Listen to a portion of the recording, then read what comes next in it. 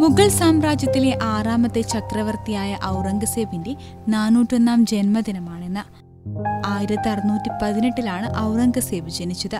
പിതാവായ ഷാജഹാനിൽ നിന്നും അധികാരം പിടിച്ചെടുത്താണ് ഔറംഗസേബ് ചക്രവർത്തിയായത്. ഔറംഗസേബ് എന്ന പദത്തിന്റെ അർത്ഥം വിശ്വവിജയ് എന്നാണ്. ഭരണം പിടിച്ചെടുക്കാനായി തന്റെ മൂന്ന് സഹോദരങ്ങളെയും അദ്ദേഹം വകവരുത്തി. പിതാവായ ഷാജഹാനെ ആഗ്രയിലെ കോട്ടയിൽ ശിഷ്ടകാലം മുഴുവൻ തടവിലാക്കി. ഔറംഗസേബിന്റെ ഭരണകാലത്ത് നിരവധി സൈനിക മുന്നേറ്റങ്ങൾ നടന്നിട്ടുണ്ട്. സാമ്രാജ്യത്തിന്റെ വടക്കു പടിഞ്ഞാറൻ ഭാഗത്തുള്ള പഷ്തൂണുകളുമായി ഔറംഗസേബ് നിരവധി തവണ ഏറ്റുമുട്ടി. ആയിരത്തി എഴുന്നൂറ്റി ഏഴിലാണ് ഔറംഗസേബ് മരണമടഞ്ഞത്. അദ്ദേഹത്തിന്റെ ആഗ്രഹപ്രകാരം സൂഫി സന്യാസി സൈനുദ്ദീൻ ഷിറാസിയുടെ ദർഗയ്ക്കരികിൽ ലളിതമായ കല്ലറയാണ് ഒരുക്കിയത്. ആലംഗീർ ദർഗ എന്ന പേരിലാണ് ഇവിടം അറിയപ്പെടുന്നത്.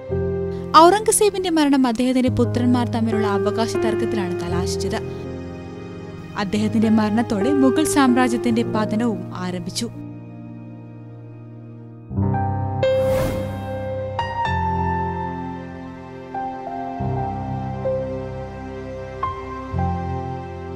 സോവിയറ്റ് യൂണിയന്റെ ചരിത്രത്തിൽ ഇടം നേടിയ ദിവസമാണ് ആയിരത്തി തൊള്ളായിരത്തി അൻപത്തി ഏഴ് നവംബർ മൂന്ന്.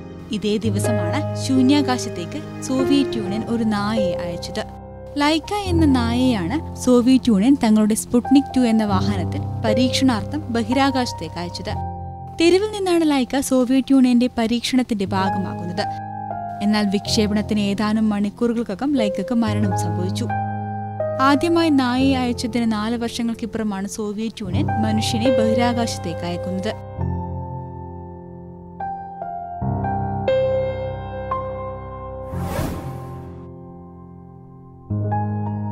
Democratic Youth Federation of India DYFI രൂപീകൃതമായിട്ട് ഇന്നേക്ക് മുപ്പത്തൊൻപത് വർഷം പൂർത്തിയാകുന്നു.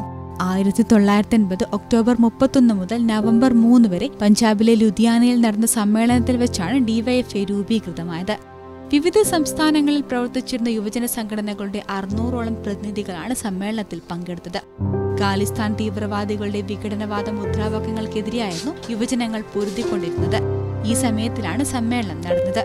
പ്രതികൂല സാഹചര്യങ്ങളെല്ലാം അതിജീവിച്ചുകൊണ്ടാണ് ഡിവൈഎഫ്ഐയുടെ ആദ്യ സമ്മേളനം നടന്നത്. തുടക്ക വർഷങ്ങളിൽ പതിനഞ്ച് ലക്ഷമായിരുന്നു അംഗങ്ങൾ. എന്നാൽ ഇന്നത് ഒരു കോടിയിലധികമായി ഉയർന്നിട്ടുണ്ട്. ആയിരത്തി തൊള്ളായിരത്തി എൺപതിനു മുൻപായി വിവിധ സംസ്ഥാനങ്ങളിലായി പ്രവർത്തിച്ചുകൊണ്ടിരുന്ന പുരോഗമന യുവജന സംഘടനകൾ ചേർന്ന് ഒറ്റ സംഘടനയെ പ്രവർത്തിക്കാൻ തീരുമാനിച്ചതിന്റെ ഫലമായാണ് ഡിവൈഎഫ് എന്ന യുവജന സംഘടനയുടെ രൂപീകരണവും.